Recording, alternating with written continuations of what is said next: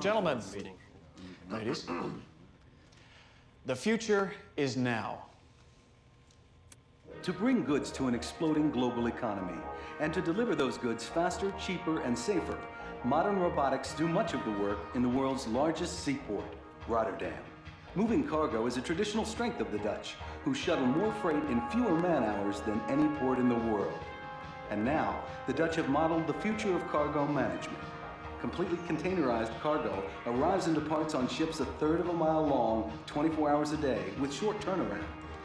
Smart card technology provides greater security and improved accountability with no need for unreliable human surveillance. And global positioning systems guide each container to its proper spot on board or on the docks, while state-of-the-art computers track shipments in every part.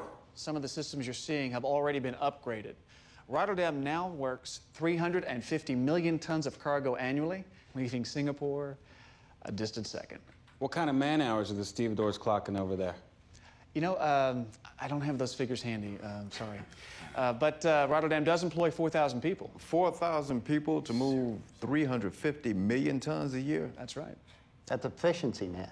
By eliminating some of the more dangerous work, the uh, Rotterdam technologies have reduced employee work-related accidents and injuries by 60%. I think we can all be pretty happy with that, can't we?